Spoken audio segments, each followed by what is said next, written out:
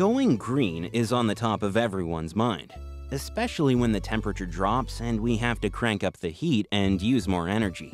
Typical heating systems aren't very efficient. They simply blast the heat into every room of a house when the thermostat says it's too cold. And they just keep blasting until the one room with the thermostat gets to the right temperature. But our air-to-water heat pump system changes that.